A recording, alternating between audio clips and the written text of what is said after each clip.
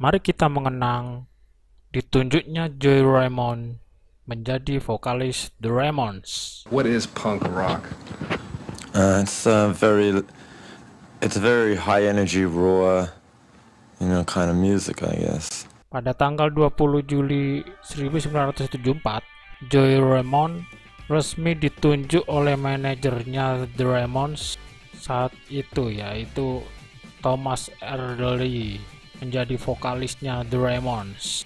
Padahal awalnya Joey Ramone berposisi menjadi drummer dan vokalisnya saat itu adalah Didi Ramone. Namun karena pita suara Didi Ramone saat itu lagi bermasalah dan The Ramones dikejar-kejar oleh jadwal manggung, akhirnya Thomas Erdely menyarankan Joey Ramone menjadi vokalisnya.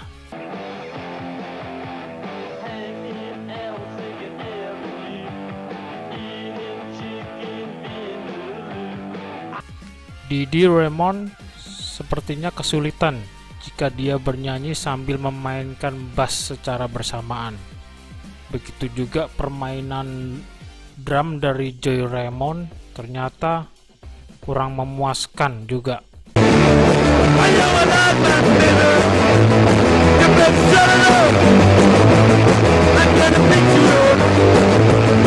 Keputusan Thomas Erdely menunjuk Joy Ramone memang sangat tepat karena Thomas Erdely ingin melihat orang yang aneh berada di depan band dan sosok itu ada pada diri Joy Ramone.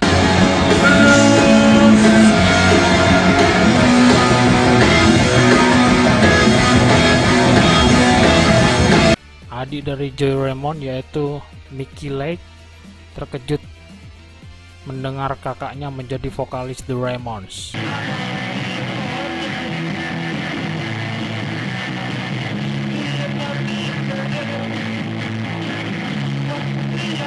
Namun ketika The Ramones mengadakan audisi mencari seorang drummer sebagai pengganti Joe Ramone, mereka kurang puas dengan skill yang dimiliki oleh peserta audisinya. Dan akhirnya Thomas Adderley sendiri yang memutuskan menjadi drummer The Ramones. Lalu dia memakai nama samaran Tommy Ramone. Joe Ramone memiliki suara yang sangat khas dan unik suara vokalnya dianggap sebagai ciri khas vokalis punk dari Amerika.